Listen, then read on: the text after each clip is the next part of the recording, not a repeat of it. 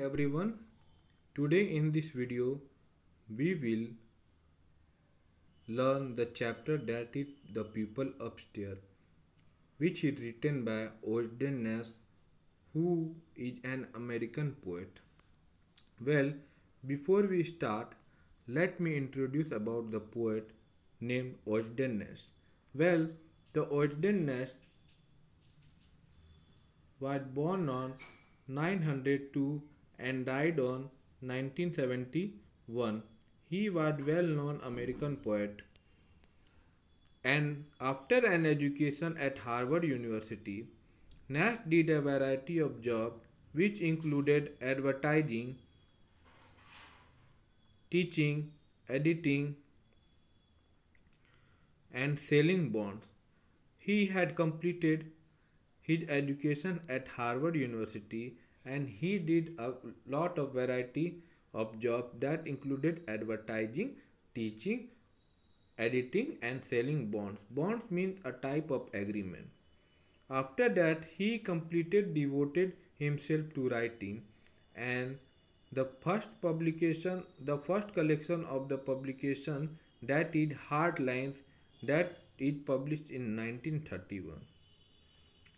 He began a 40 year old career during which he produced titles such as I am a stranger here myself and everyone but thee and me. Here, the word means, the word thee means you. Now let's get started the poem that is the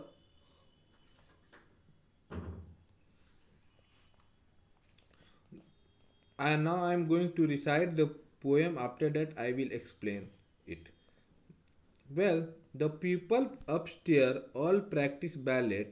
Their living room is a bowling alley. Their bedroom is full of conducted tours. Their radio is louder than yours. They celebrate weekends all the week. When they take a shower, your ceilings leak. Then they try try to get their party to mix by supplying their guests with pogo sticks. And when their fun at last abates, they go to the bathroom on roller skates. I might love the people upstairs more if only they lived on another floor. So this poem that the speakers describe about a neighbor who disturbed the speaker who live below them. These, these people are so busy in enjoying themselves and they have no idea what they are doing it. They do create a lot of disturbance like when these people every time these people do practice ballet. Ballet means a type of artistic dance form. They do practice a dance named ballet. Their living room is a bowling alley. Their bedroom is full of conducted tours. Their radio is louder than you. They always do party hard on weekends, turning the living room into bowling alley. Bowling alley means a long narrow area of bowling. They turn they turn their bedroom into full of conducted tours and the people upstairs radio was louder than the speaker. That's why they celebrate weeks and all the week when they take a shower your ceilings leak and the speakers also describe that when they take a shower the speaker thought that it might be ceiling league. They try to get their party to mix by supplying their guests with pogo sticks.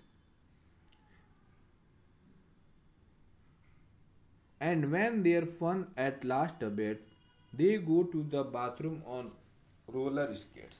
Here, these lines, the poet describes the people who live upstairs in the apartment they turned the apartment into a dance floor and there they were playing loud and blaring music.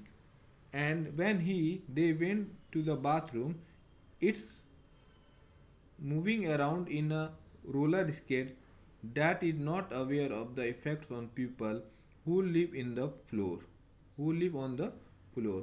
And the second last line, it says that I might love the people upstairs more if only they lived on another floor. Second last line, the speaker tried to say that that he might not love he might love the people but under one condition if they should live on another floor so that the speaker will not get disturbed by these people who lives upstairs. That is the poem. So basically this in this poem the speaker describe about the neighbor. He was so annoyed by the neighbors who disturb always and always the people who live below them. And these people are so busy and enjoying themselves without thinking that someone might get disturbed. They create they create disturbance so the speaker speaker felt annoyed that's why he was describing through this poem well this poem is a 12 line poem that contain one stanza. As you can see there, these poems had 12 lines and that contains one stanza. But this in this poem, it had 12 lines and these 12 lines, these lines are set in two. And the rhyming pattern of this poem is A A B B C C. How do we identify the rhyming scheme? That in the poem, each and every line, we pick the last word of each line. And when we pronounce the word, the words when we pronounce, if the sounds come similar, the pattern, the rhyming scheme of the this poem is A A. Just for example, if we take the last word of first line ballet and takes last word of second line that is LA.